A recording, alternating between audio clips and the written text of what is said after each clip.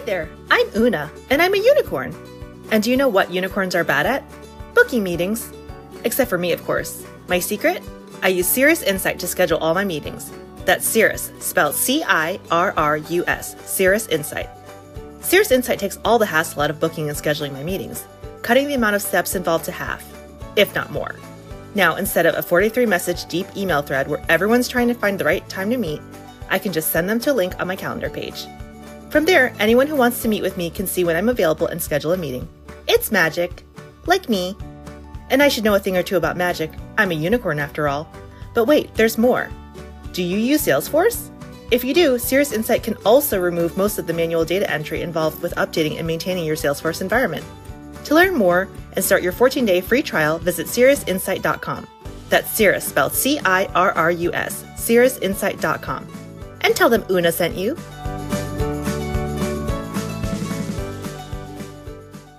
Hello, everyone. I'm your host and Salesforce MVP, Christy Campbell. Joining me on the show today is Emily Jensen, a fellow accidental admin in a new role as business analyst at Cash App. You can find her on the SFXD Discord as Eekers. Today, we're going to talk about the decision to build versus buy. So stay tuned.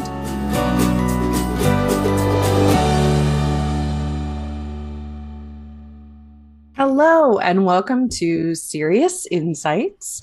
My name is Christy Campbell, and I'll be your host. I am the adminitect at Cirrus Insight. And uh, joining me today is Emily Jensen, who is the Director of Sales Operations at Infrascale.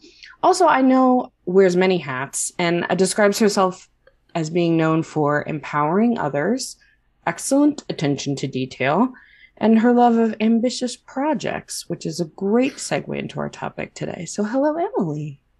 Hello, Christy. Thank you for joining us. Um, so good to if ever I do slip up and refer to you as Eekers, I think you will still reply. Um, yes. Emily and I know each other from the uh, Salesforce Discord community, and um, she had made some comments about different projects along the way. And so when we started talking about topics for the show, uh, this one we wanted to talk about build versus buy. So um, you've got you know a new project coming up.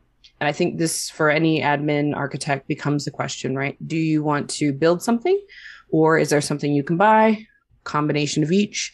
So um, we wanted to talk through that a little bit. You maybe want to give some insight as to um, why I all those hats you wear and or why I thought you might be a good person to talk to about this one. um. So, uh, do you want to hear about the hats or why the hats? Sure, both, all.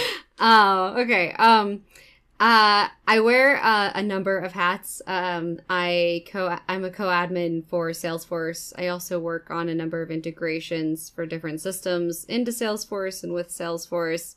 Um, I primarily started with the sales team as a sales development rep about seven years ago, and um, or business development rep. My, I'm sorry, and then kind of worked into sales ops and became an accidental admin at the same time. And in doing so, kind of started taking over more of the sales operations side of Salesforce administration for the company, whereas my co admin took over more marketing operations. Okay. Um, in the last year, I moved into the finance department. And so I've also started working on a lot of billing operations and also helping the co admin with um, marketing operations. And now we kind of just sort of like trade tasks, you know, what, whoever has the, the nearest skill set or the time. the whole RevOps so that helps with that. Yeah. Yeah, yeah.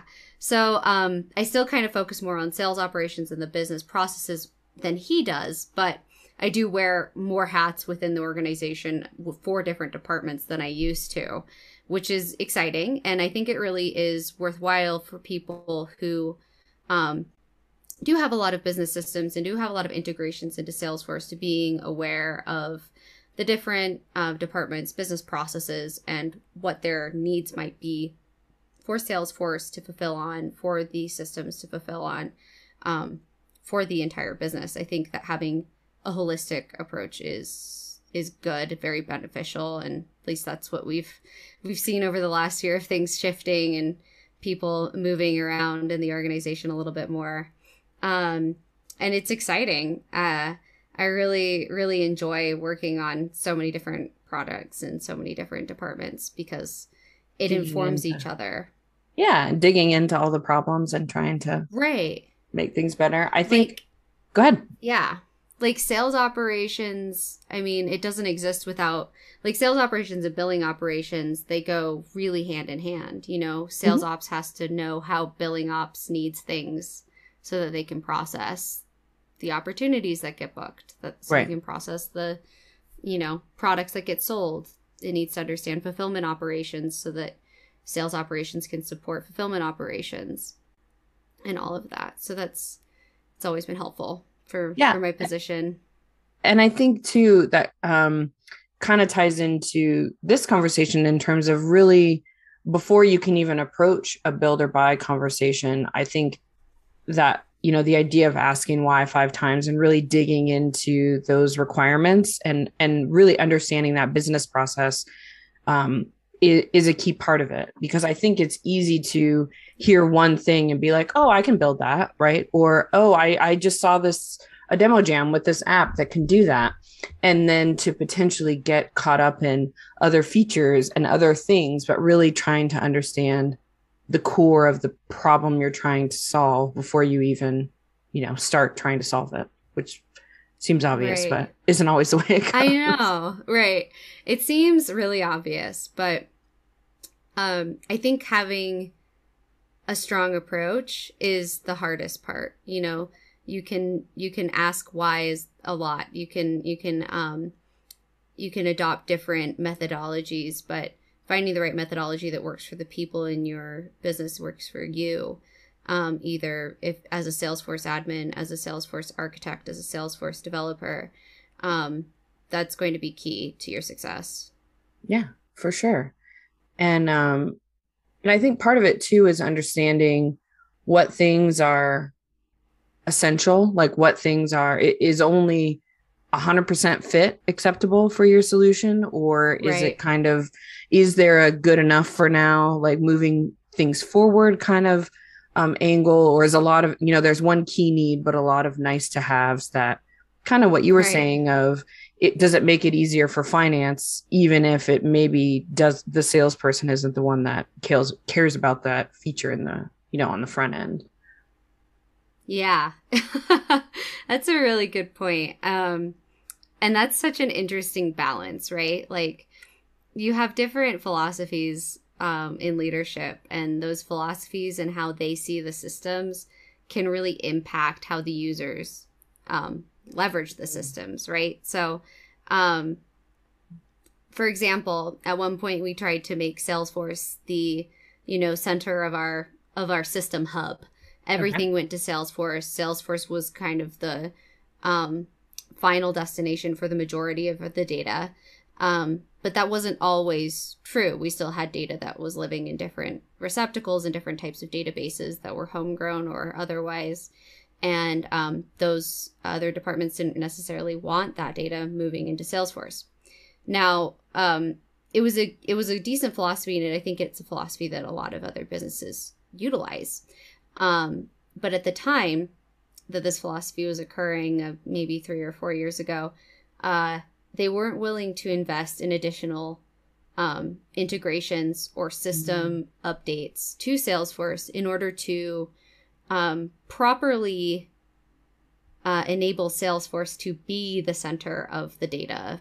Okay. Um, for the business, which which it, it, ultimately made it very difficult to do reporting because um, finance would count on Salesforce being incredibly accurate for its billing operations right. and um, so on and so forth, or for due diligence rounds with uh, financing. So that was an interesting place to be. And that really is kind of where the whole um, build versus buy situation for me started, where I had to start um, leveraging Salesforce, leveraging standard or custom objects in really unique ways in order to um, in order to fulfill on certain business requirements because they weren't willing to invest budget in into new systems or into um, app exchange products or add-ons. I think it's a, it's interesting too to think about um i think it's more the budget feels like a straightforward thing right? Like do we have budget to buy this tool that could solve you know is this magic thing that could solve all our problems? But um mm-hmm. also like what's the opportunity cost or or really the the salary related cost of not doing that right? Like if the even if you have the resources of people who have the knowledge you need what does their time cost to come up with workarounds or like you say to right. to do things manually or to like the the trade-off i think doesn't always get the the credit it's due right for um, an alternative to buying something. Right. There's a lot of different resources in the question, right? Like there's time resources. Does your admin have time to um, spec a new solution? Does your admin have time to research the variety of solutions that are out there for the business need? Does your admin have time to install it and then train users to use it. Um, for me, the training of users was such a big part of the equation mm. that a lot of the time um, when I was considering do I build it or do I buy it, um, I would lay very heavily in the do I have to train people to use it column, how much work that would be. Because, you know, when you have, when you're in sales operations and you're an admin, I think that you're wearing you're wearing two very similar, but they're definitely two very different hats. Mm-hmm. You have sales operations, which is very user based, very sales focused, very sales driven. You know, sales wants sales ops to be available to help them deal desk, to help them configure opportunities, configure quoting, whatever. And they and then sales administration you also have the other departments behind you asking for assistance. Right. So when you have that you kind of have a conflict of fires right? And then you add in user training into that conflict of fires or that confluence of fires and you're like oh boy how much do i have to spend on the phone training sales or reinforcing training with sales and is that worth my time Right. So and, uh, I think, yeah, go ahead. Sorry. No, I was going to say, and then sometimes I think the idea that, you know, you buy a tool that has training baked in at, or as part of an implementation package, but there's still an aspect of like, yes, certainly throughout the implementation, that's either your admin's time, your end users, a lot of time to get to that point. You've still got someone that's training that isn't a part of your business. So there's certain or maybe I'm just a control freak. Um, but there's right. certain caveats, right? Where no, it's like we do, you know, we have you do this training and then I turn around and translate it, or then I get similar questions because it's more of a generic training versus geared to us. You know, it sounded like a good right. idea, but it's not necessary. Or, or when they actually go to do the thing and ours looks different, then it feels like the training falls apart. So, mm-hmm. Yeah, it's so interesting that you mentioned the looks different part of that because I, you know, getting hung up on user interface uh, dis- differences is a huge issue, I think, for human beings in general. And um, this is why smartphones, you know, when you switch from an iPhone to an Android, you're like, what do I do? What is this alien technology? you know, who are you? And why are you making this noise? And why are you giving me this notification? And I don't understand where to look for anything. Right. And then, um, and it's the same if you're, you know, moving between different operating systems or what have you. If your trainer uh, or on the solution has just something something just is slightly different. The contact page layout in Lightning looks different. You know, columns are in different places. The phone number isn't in the same place, or an email is, you know, slightly off to a different direction. And someone's been trained to look in the upper left hand right. corner for the specific habit. information. Hmm. you're going to have to do a retraining, like you just said. It's so it's so interesting how little things are such gotchas. Um, Well, and especially for your salespeople, like you mentioned, they're you don't want them to have to think about those things. exactly. You know, like you're trying to make a smooth process for like literally sales enablement, right? To enable them to sell the things to keep the Mhm. lights on, you know, and to try and make things easier, but sometimes the change itself feels hard.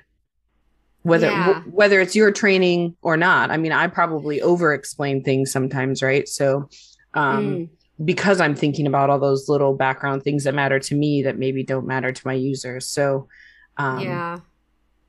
Yeah. Ooh, that's a good point. Like getting into admin nitty gritty stuff where they're where you're like, well, this object does this, and then you gotta have this over here for this reason. I had to do it And this way like- because and they're like, I don't really care. come on, this is the fun stuff. Um, and you're like, this is how I stay engaged in this Right? training. I have to think about it. I'm reminding myself why I did it this hard way because that, you know, sales reasons. Right. Um, right. but I think the other thing that's interesting to think about is, you know, we we've talked about, you know, knowing your business and your specific requirements, but I do think it's good to take a step back and and really remember uh, someone's probably done it before, right? Like very few Right. issues in the end the broad strokes of what we're trying to do and support with the CRM, especially in Sales Cloud, I think are pretty consistent. So, um, I definitely think that there's value in seeing either a product that is available or something, a blog, a video, or something of a walkthrough of what someone has done, um, just to see, really to get a sense of how hard it might be or easy it might be to make. Right. Yeah, I think that's actually. Sorry, go ahead. No, I was going to say, although then, then it's also sometimes easy to start somewhere, but then as the complexity grows, right? Either if, once you kind of start down a path, you've kind of got to think about the future of if they're going to start asking more things, and then I've got more things I need to build, or if I buy something. Oh my god, yeah. can I grow it into it? and then I'm yeah, and then I'm I'm susceptible to their feature release, you know, kind of questions. I feel like for some reason Mhm. I feel like sometimes with implementing new things, I'm like the the roadmap builder finder where I'm like, can you do this? And they're like, nope, but that's a great idea. It's like, well, okay. So let's You're like, uh, Figure out a different okay. um so um yeah, sorry, I had interrupted. I think you had a thought about no, no worries. you're you you're not as unique as you think maybe kind of sometimes Yeah, I think it's interesting, right? And that's where um being parts of a community or like being good at googling comes into um a strong Giving away all the focus. secrets. Yeah, I know. That Google. Wow. Um but uh I I think so it's some some background. Here's a, so here's a story about something that I built without looking it up. If that's interesting. So you got to yeah. you have some hot goss here. and guess what? I built it all in process builder. So like mea culpa, these are my sins. Um hey it could have been workflow rules oh boy, those there were some too. but not so many. I've always hated workflow rules. Um and they they've they serve a purpose, but very Sure. very infrequently. Um so uh it was 2016 and I had I think very recently received admin access. Like Mm, the power the power no it was 2017 it was a year after i received admin access. And um, previously before i had done that i would like just write these really long spec emails. Like i had done a bunch of research. I'd built this idea in my head of what i needed. Um, and then i would send them to the the guy who is now my co-admin. And he would eventually just lost patience was like just build it yourself. Just you know what you're doing. Here's a sandbox. I think you know here you go.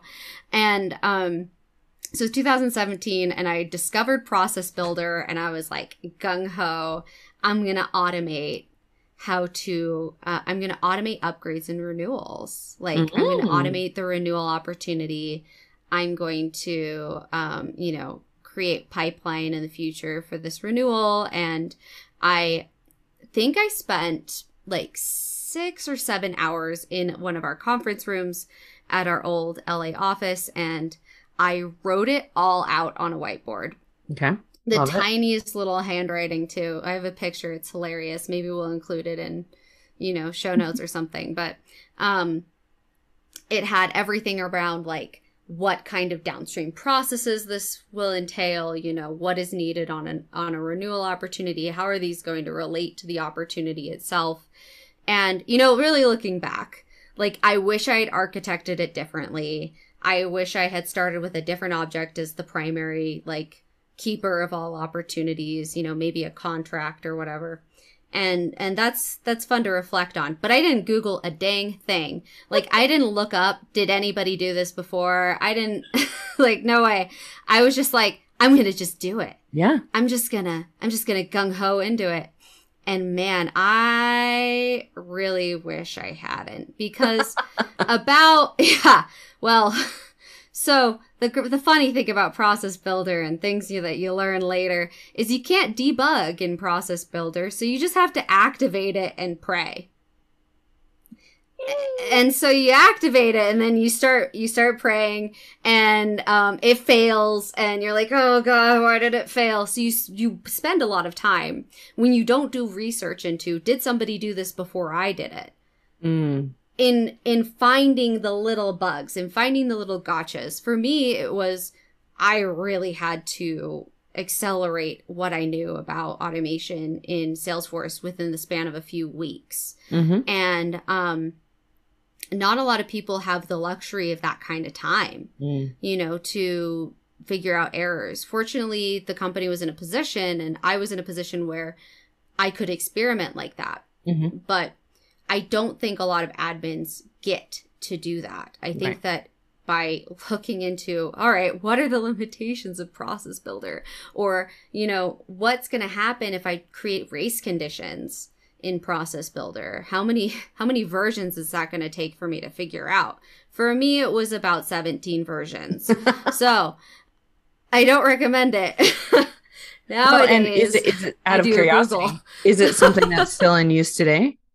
Did you end up? Did it end up working eventually, and you kept it? it was until last year. Wow. See, I- so it's like It- I know it was actually quite good. it's an interesting balance. It, it- it's funny because that's literally something I'm a project I'm working on right now. Is the idea so Mhm.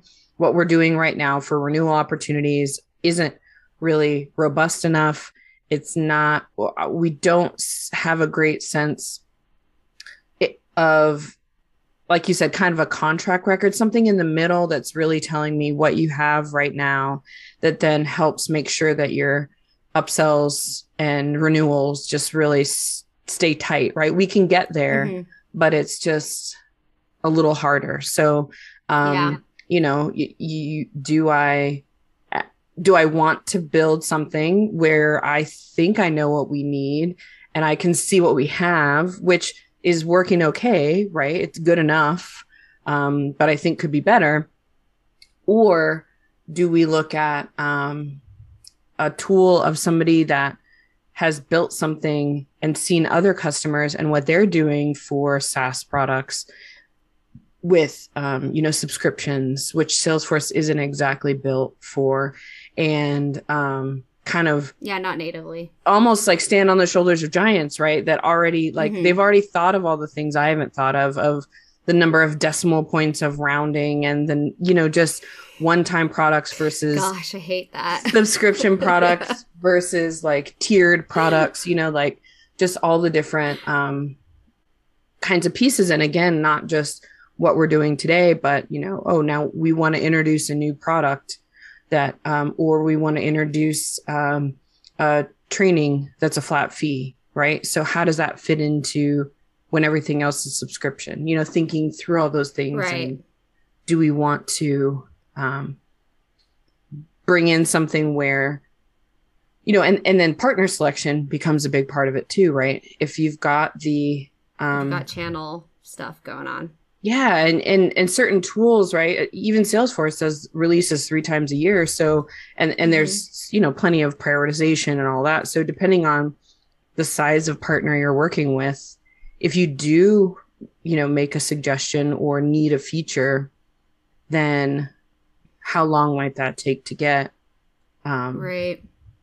and and can you work around it is which again goes back to kind of where we started of really having your requirements defined like i must be able to do this um, and then if it's just kind of a nice to have then maybe you can wait a little while um, Yeah.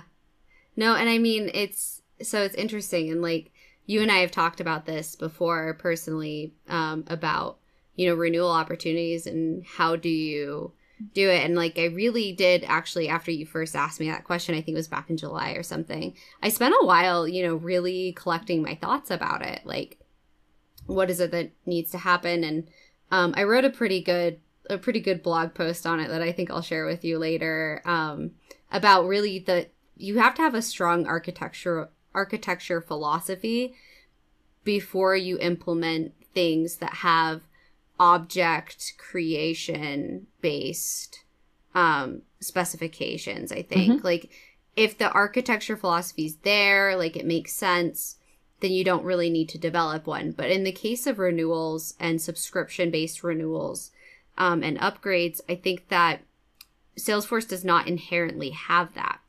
Now, if you go and you sign up for a dev org on salesforce.com today, you'll have access to one of their newer features called Salesforce Billing, which is very interesting and something that, I mean, basically having a dev org caused me to ask my account executive about. Um, so that's kind of another buy versus build s- situation. Do I want to look into Salesforce Billing so that I can have better um, contract, uh, native contract functionality because it basically increases the functionality on the contract object and adds line items to the contract, which is okay just Of course. sweet if you ask me. um, but it's you know that also is another like con- pro con conversation. Are you using a billing system that syncs back to Salesforce natively? Like, Mhm. um, for example, my company uses Zuora, and we have CPQ and Zuora 360 s- sync. Whew. So that enables us to push CPQ into Zuora, and it pulls data through the 360 sync. Um, that had that creates a subscription object with subscription line items. Um, but then there's the conversation of what's your Zuora architecture like? Are Mhm. these products coming back in a way that makes sense to a user? Um, so last year, I embarked on a Zuora architecture rebuild, re-architecture of the catalog Ooh, um, where our products didn't make much sense because they were built with the architecture concept in mind of them representing product families. So you had a different product family for X, Y, Z, and they'd sync back as a product two object in Salesforce hmm as X, Y, Z. But you couldn't assign pricing to them. You couldn't assign a SKU to them because within those products in Zuora were different objects that represented the actual product, the actual SKU. Ah, okay So it doesn't work with standard product pr- products and standard price books in Salesforce where you Mhm. need to have SKU X and that has a price or it has, you know, five prices and five price books Books. yeah we had SKU X and it didn't compute to another SKU. huh. Okay. Well and it's an interesting i do think that coming into scenarios like this right i've only been um, at uh, cirrus for about six months and um, i think it's important especially uh, coming from my last job there was someone who came in and kind of questioned things in a very mansplainy feeling like why did you do this and i think it's It's a little an- aggro. right well and it, it's like I try to assume that you did the best you could at the time with the resources and time and money that you had, right? Or the features that you had, right? To your point, just now we're getting contracts with contract line items as out of the box options with Salesforce billing, right? I haven't looked into it, but as that example, right? There there may be something Salesforce has now built that makes it silly that you built all this custom stuff over here or that maybe replaces the need for you to buy a tool.